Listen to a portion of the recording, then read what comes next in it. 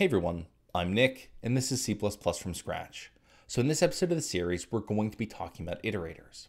So iterators provide this general way of iterating over or traversing our standard template library containers.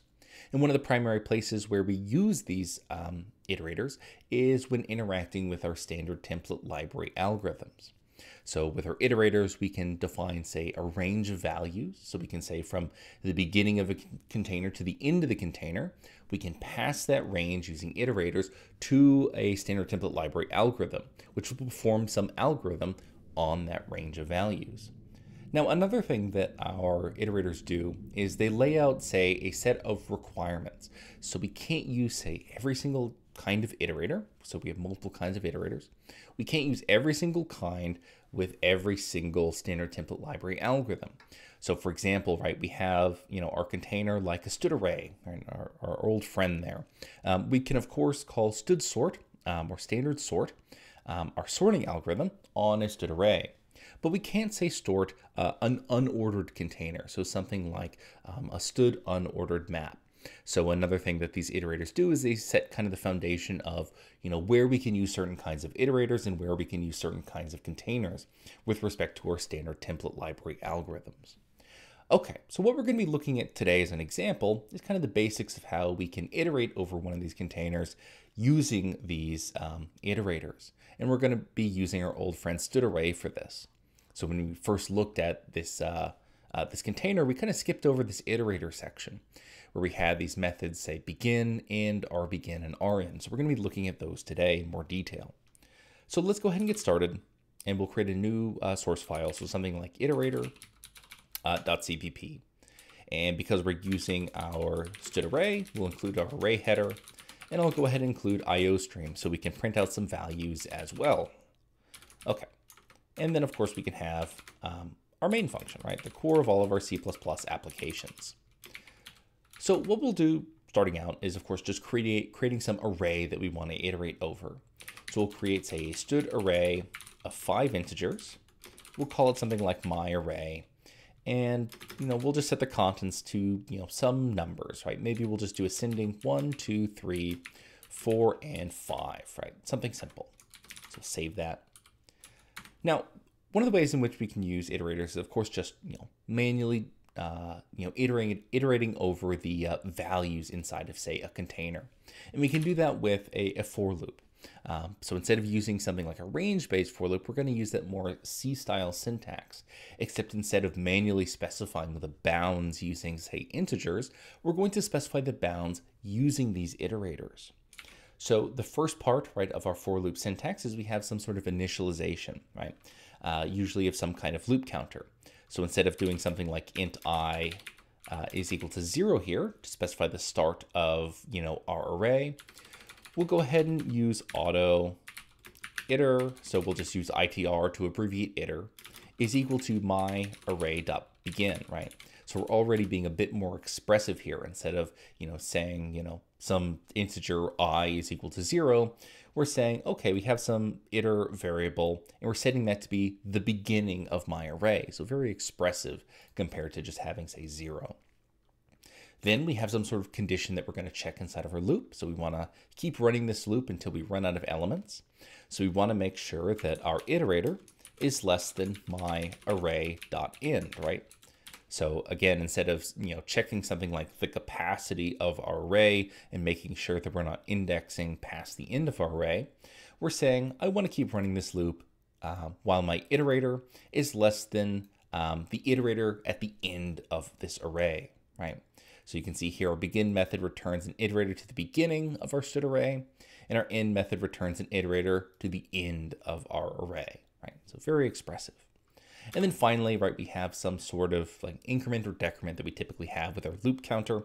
So in this case, we'll do exactly the same thing. We'll do iter plus equals one here. So we're just saying I want to progress my iterator by one position inside of my container, right? So I'm just going to add one, um, and you know that just symbolically meaning that I want to go to the next element. So I want to progress, say, from one to two, then on the next loop iteration from two to three, three to four, and so on and so forth. Okay, so let's go ahead and get into the body of this for loop now. And let's say we just want to print out the contents uh, of this array. So of course we're going to use something like std_cout. But what are we going to print out here, right? This type of iter, right? This is uh, you know, this is a std array iterator, right? This isn't a value that we can just directly print. So how do we access the value underneath an iterator, right? An iterator is this higher level of abstraction, right? We're iterating over the contents of something. So how do we access the underlying value? Well, we use the star operator for that. So we'll use something like star iter to access the value underneath an iterator. So here we're accessing the integer underneath my iterator for my array of integers. Okay, and then of course we'll print, say, something like a space afterwards. So we'll, we'll print out all of the elements in an array separated by a space. And then at the very end, we'll do something like std_cout with a new line character so that we get a new line afterwards. Okay, so let's kind of just run through the basics of what we did here again. So first we just created an array, then we created a for loop, and the bounds for our for loop we set using iterators. So we said, you know, we want to start with, you know, iter is equal to the beginning of our array, and we use that myArray.begin method to get that iterator to the beginning of our array.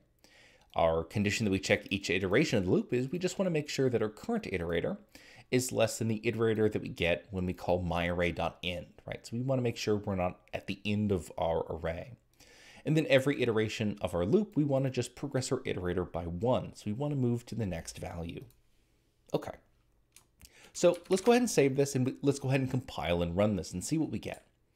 So we'll go ahead and run g++ on iterator.cpp. It will just call the output executable something like iterator. Then you can see we have our executable now, and we can go ahead and run this. So we can run iterator.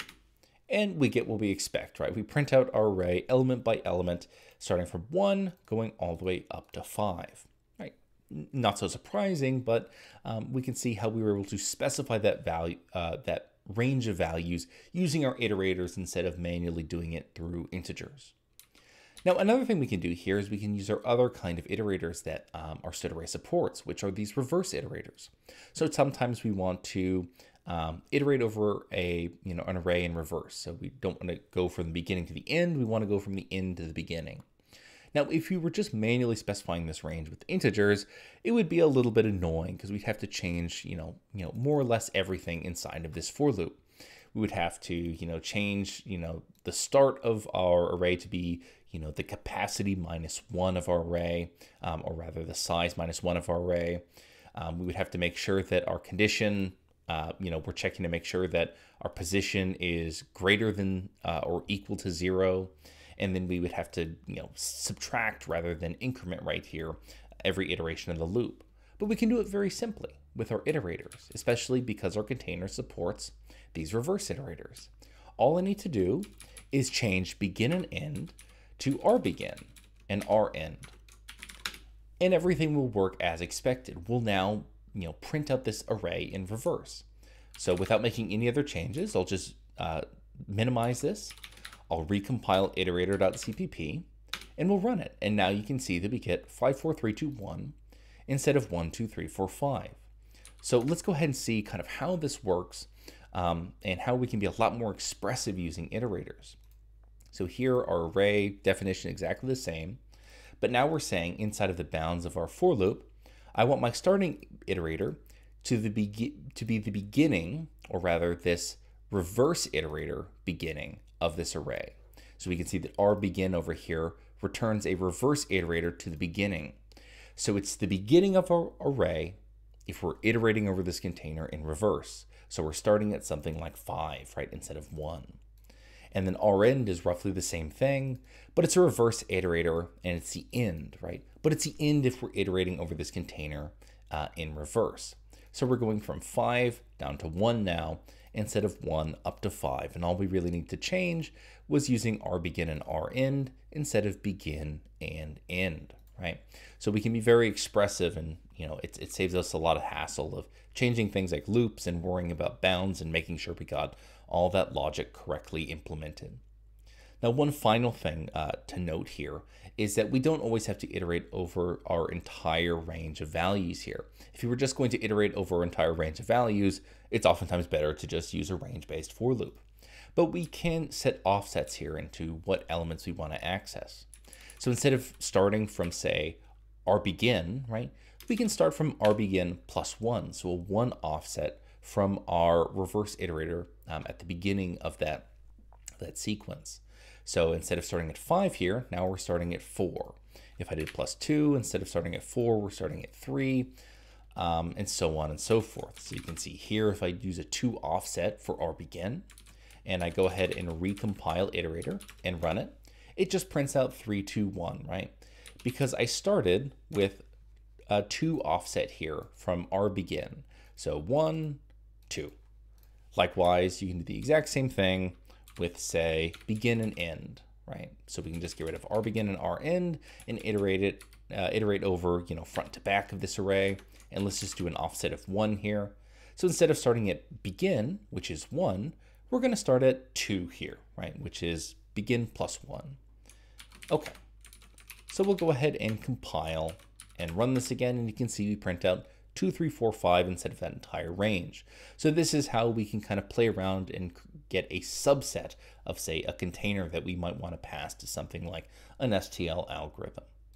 Okay, so that's going to go ahead and do it for today. That's roughly the basics of you know how we use iterators uh, and how we can think about iterators in C++. I'll of course provide links to this std array and this iterator library uh, page from cppreference.com. And you can of course find any uh, of this and uh, the other example I've gone through at github.com slash coffeebeforearch. But that's going to go ahead and do it for today. As always, I'm Nick, and I hope you have a nice day.